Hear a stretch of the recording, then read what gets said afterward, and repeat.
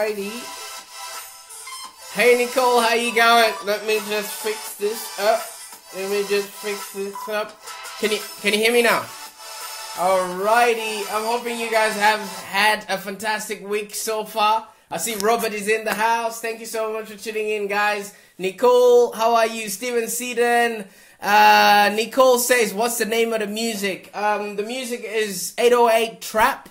And uh, Nicole says, exciting session. I haven't even started yet. I like I like um, the hope that you have on this. Honestly, thank you so much for tuning in. Um, Steven says hi, Prosper. It's all good. It's all good. Thank you so much. I'm so excited that you know all my regulars are in the house. Um, do you guys have some kind of notification when I'm on or something like that? Because some of the times you know, before I even start, I already see that people are on. Luke Corin, thank you so much for tuning in. Okay, so today we're talking about, um, you know, stuff that just happened or stuff that just happens in and around our businesses. But first of all, let's get this out of the way. Uh, for those that are watching this for the first time, my name is Prosper Taruvinga, and I viscerally believe that every person that's running an online business should have it to be profitable and enjoyable.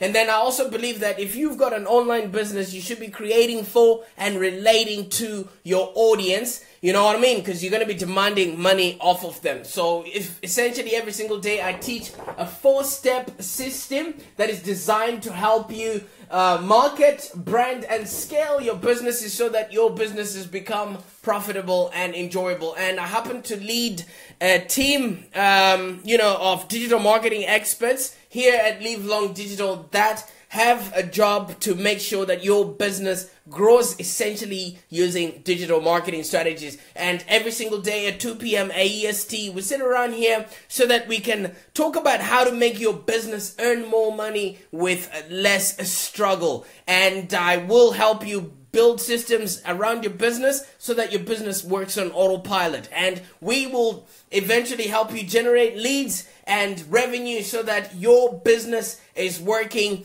um, you know, with your brand and also your PR all at the same time. Now, I really want to inspire you to do things that actually do inspire you. All right? Okay, hold on.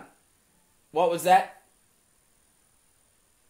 Oh, right. Apparently today we have to talk about your business name or what is it that you call yourself for business? What's your business title? Can you just type in your business title before we get started? I want to know what your professional title is. What do you call yourself or what do you want your clients to call you? All right. I normally go by online prosperity consultant or online prosperity um, uh, strategist. All right. So I want to know what is it? What is your job description? What is your title? tinaye zinenga senior neziroma misa katika sura takangochikora muna kuuya hmm? what's that? All about. Anyway jamie says um, detailing and polishing. Uh, nicole is the invincible entrepreneur. Nicole again is the social media business coach. That's pretty cool. All of those are really good titles all right? But i'm gonna ask you one thing. What's in a name? What's in a name? What does it mean to have that title uh, that you have? What does it mean for you to have that title? Now, Robert calls himself the peer uh, counselor, but it needs a little bit of work. We can still work on that, my man. Network marketer with Isagenix.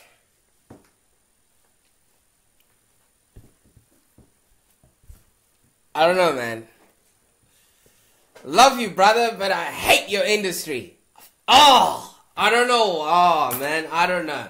I, I, I, it's nothing about you. It's just your industry is, yeah. Anyway, that shouldn't uh, mess up my day. But at the end of the day, I really want to go on with with what I had scheduled for everybody else today. I just got news that um, apparently Puff Daddy, Diddy, Puff Diddy Sean Combs has changed his name and he's now called Brother Love. Alright, I don't know if you guys have seen any of that or if you actually know who Puff Daddy is. Um, he goes by, you know, a lot of names. Uh, back in the time, they used to call him uh, Papa Diddy Puff, and then he went from Puff Daddy, and then he became Diddy, and um, recently he started calling himself um, Swag, I think. And then in 1999, I remember he was called Puffy. And then uh, 2001, he called himself P. Diddy. 1998, if I remember well, he called himself Sean John. And then at some point in 2011, he called himself Swag. And yesterday, as I was going through my newsfeed, I discovered that he had changed his name and he's now called Brother Brother Love. I mean, seriously, brother men, what's up with all of that? People get confused. All right? This is what I'm trying to get to. If people don't, if you are not clear on who you are personally, how are people going to know who you are and what you stand for? All right? I, I've got nothing against the brother. He's, he's, he's, you know, I grew up on his name. I grew up on his watch. Um, you know, I was following his music, etc., etc. But, you know, when he, he lost me at P. Diddy, and when he went from Diddy, I think now he's Diddy brother, Diddy Sean, or Papa Diddy Puff, or Diddy Papa, Puff Daddy Pippi, Papa Diddy Poof, Puff Pike Paka Puko, whatever he's calling himself today, it doesn't matter. What people are after is value. Do you know what I mean? At the end of the day, this is what I've got for you. All right. Some people are so fixated on what their job title is. Some people are so fixated on what other people call them instead of them focusing on what they add value to other people. One's name is not just the, the name of their title, end of it. You know what I mean? Because when I asked you earlier on, what is it that you call yourself, or what do people know you for, or what do you want to be recognized as, or what do you want to be known as? If you're not clear about what value you're putting out there, if you're not clear about what you serve and why people should hang around you, the more you rebrand, the more you change your name, it shows lack of clarity within yourself, then why should people hang on to what you've got to say? That's all I've got to say.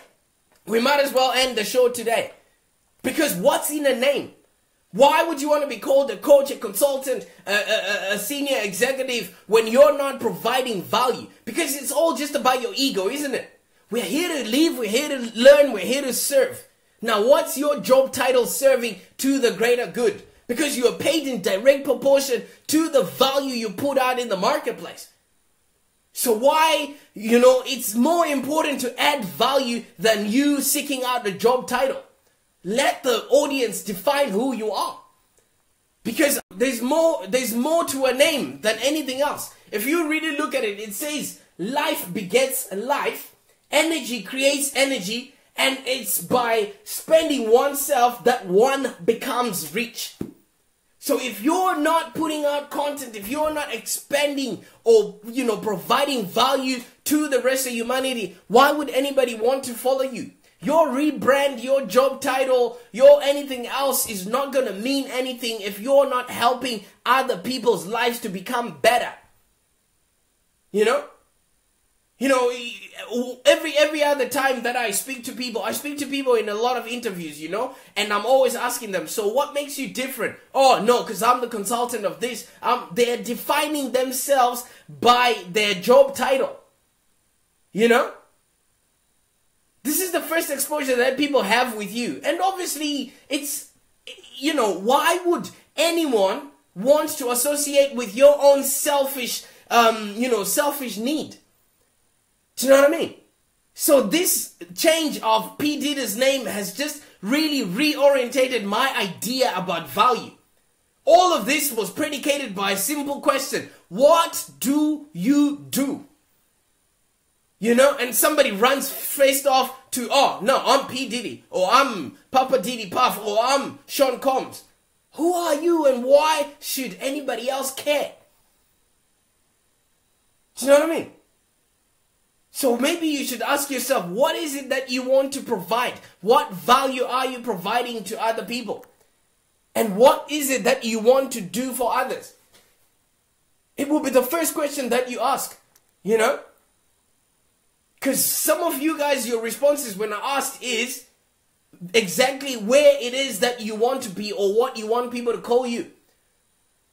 Typical responses when you ask people, what do you want to do or what is it that you do? They say, oh, I'm an executive leader. Um, I've got a high level position and I make high level decision and etc. etc. Nobody cares about that. Uh, but there's nothing wrong with that response. You know what I mean? There's nothing wrong with that response. It's just, it doesn't yield or it doesn't get another person to reciprocate or say, hey, excuse me, can I know more about what you're doing? You know, when you go out professional networking out there, it's easy to just relate your your pitch to what you do or what your job title is, you know? But at the end of the day, why don't you start with why you do what you do? You know? I've, I've been thinking about this for, for ever since I read that. And it's dawned on me that, uh, you know, what I really want to hear about people or what I, what other people want to hear, you know, about somebody is you are striving to add value to your team, to other people, to humanity instead of just a personal end game outcome. Do you know what I mean? It, it, really bothers me that, you know, some people are not even focused on adding, and, you know, some people maybe just be focused on adding an important title to the end of their name, and then they've got nothing short of, of, of, of you know, value that they're putting out there. And they get disappointed if you get their name title wrong. You know, there's so many people that I'm reaching out to that call themselves coaches, um, you know, um, you know, you know, uh, coaches, mentors, or whatever it is, but I'm asking them to put value on the show, and none of them are coming forth. You know, I, people want to learn from you. People want to to connect. People no longer buy the product because you having a job title is like being a product in a factory. You know, people want to buy the story behind that person. What value are you bringing to the market? You know, what meaningful existence are you helping other people to have? Or are you just going to be producing the fastest, safest, easiest, cheapest, and, you know, most efficient service out there, which can be replaced? You know why? Because anybody can do it. You know? So I want to, I want to help you have a bit of a shift in mindset so that you start focusing on your own personal growth, you know? So that you are competent in exactly what you do and you grow into that title that you give yourself. You know, you know, you know. I would argue that maybe some sometimes it's it's it's it's okay to understand the technical aspects of your job, mastering the skills that are required. Because obviously, people want you to provide, um, you know, a service or something like that. Do you know what I mean? But at the end of the day, who are you serving and what are you providing to them? Make that foundation right from that start. And it does take time. But shouldn't a great leader take time to actually understand the work that they're doing before they start making decisions, before they, you know, execute any work? You know? So this isn't to say that maybe what you're you're you're going about right now is hard or or or it's easy, but make sure you're making a difference. That's how people will remember you. Otherwise, every second year you'll be rebranding. You know? Every second year you'll be rebranding because you outgrow that title. You know? Don't let your title consume who you are. Be of service. Because when you now outgrow that title, what happens? It's a rebrand. People get confused as to what is it that you actually do, etc., etc. Because that whole me, I'm a coach, me, I'm a consultant, me, I'm a whatever. It's a me, me, me economy that a lot of people need to shift from me to we. You know? Because you're focusing on your own indiv- individual career or, you know, advancement or whatever success you've had. And because you're only holding on to that because that's probably all you have without any value that you can offer. I mean, it's important if you're an employee do you know what I mean? But if you are going to be running a business where you're helping other people start, scale, and grow, or help them have a, a, a, an existence that that is, you know, you know, of a happier existence, you need to start focusing on what is in it for other people. You know? Liz says, I offer natural health options, Hutano, all ages, young, middle aged, and the elderly. Great stuff. Nice to see you on the show, by the way. Unless you are planning to be a cog in the factory or a cog in the machine that's just performing functions as intended, then maybe, you know, having a, a well thought out job title is what you need.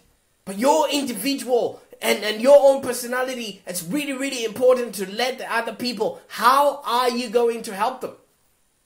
You know? Do you know what I mean? John Duriani, thank you so much for tuning in. Alright, so I was laughing when I heard that he had changed his name again because it's hard to keep up a persona which doesn't define who you are. You know?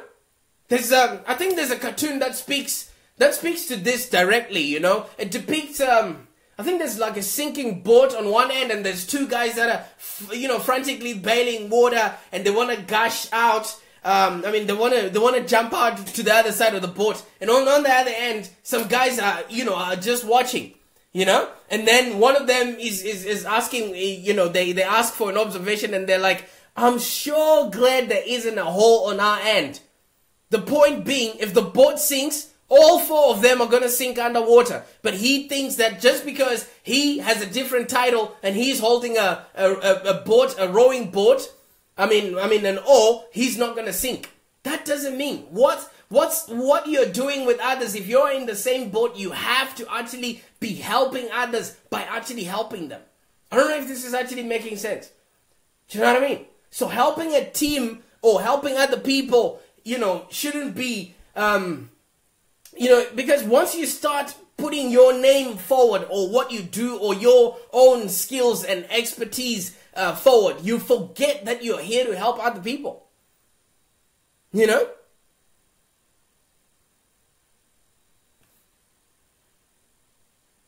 You know what I mean? So you want to be adding value to other people. What's in it for the rest of, of us? Because people are buying stories. People, um, you know, are, are looking for places to belong. Are you providing that as whoever you have chosen your business to become?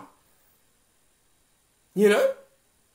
So, um, says we help people live brighter, lighter, and healthier and longer simply by the choices they make each and every day through education, information, and connections. Exactly. You know what? Because at the end of the day, I don't want to lie. I mean, there's always different ways of going about it. But if you lead with your job title, people are just going to be like, oh, yeah, it's yet another handshake. You know? So you want to add value to the people you're working with, your customers. You want to add value to your team. And you want to be authentic within your own self because if you keep chopping and changing, it's going to confuse people. You know? If you really think about it, if you really, really, really think about it, what you do isn't about you at all. It's about the people that will consume your products. It's about the people that will use your services. And it's about the people that will use your ideas. So you add value when the end user actually extracts some some meaningful or useful, um, you know, uh, sense out of whatever you're offering. You know, so generally being a director or vice president of a company, it doesn't equate to adding value to anyone. How does that help? You know. So being a director, you know, it adds value when you actually make sound decisions, but it ends there. When you lead your company, it ends there. But when you then produce excellent products that help other people, when you then produce excellent work, when you then produce excellent content, that's the value you got to put out there. And that's what you should be known by.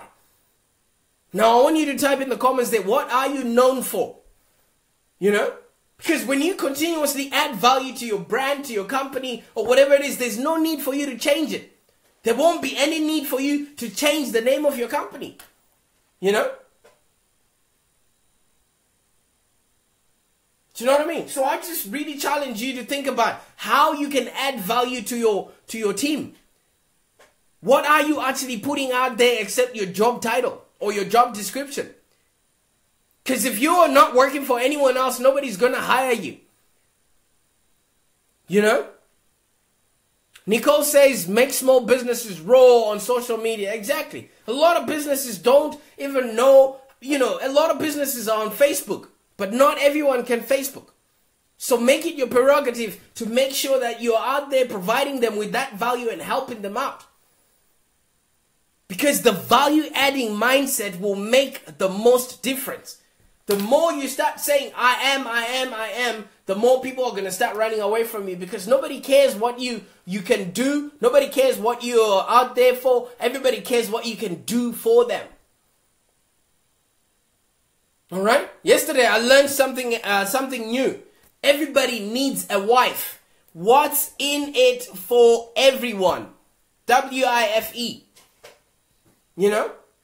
Focus on adding value, not creating a job or a job description for yourself. What's in the name? It's just a title at the end of it. That's the reason why right now people like yes P Diddy, Puff Diddy, Puff are trying to are trying to stay relevant by constantly chopping and changing their name when his last album was most ten years ago. You know, you start holding on to what was. Do you know what I mean?